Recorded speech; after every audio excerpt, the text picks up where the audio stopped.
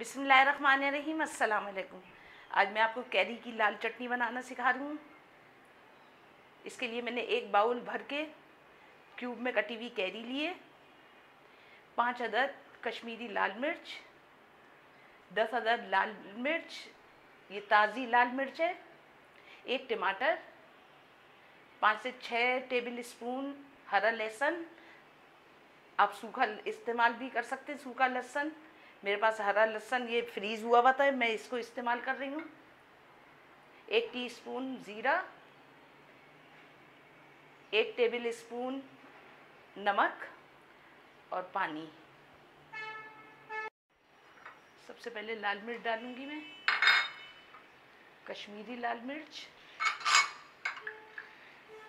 हरा लहसुन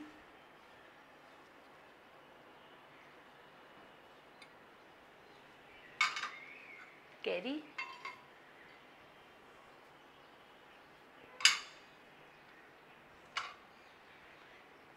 एक टमाटर.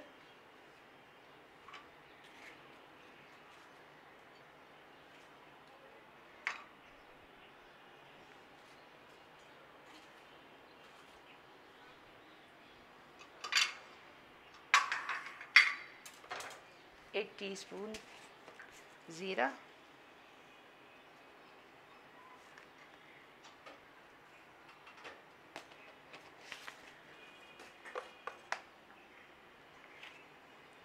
नमक।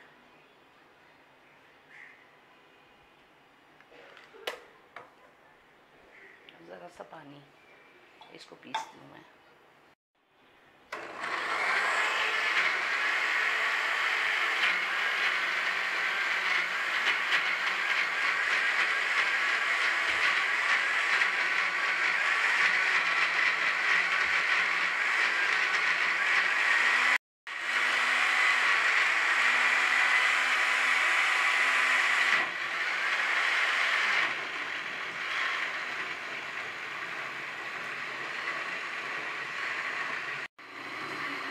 हमारी लाल चटनी पिस गई है। अब मैं निकाल के दिखाती हूँ। ये हमारी कैदी की लाल चटनी तैयार है। इसको आप पकौड़ों के साथ इस्तेमाल कीजिए रमज़ान में। आप आलू चावल के साथ बहुत मज़े की लगती है। आप इसके छोटे छोटे पैकेट बना के फ्रीज़ भी कर सकते हैं। इसको ज़रूर ट्राई कीजिए, कमेंट्स दीजिए, मेरे चैनल को सब्सक्राइब कीजिए। जजाकल्ला खैर।